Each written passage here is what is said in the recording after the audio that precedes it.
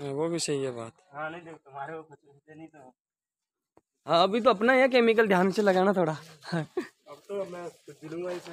हाँ।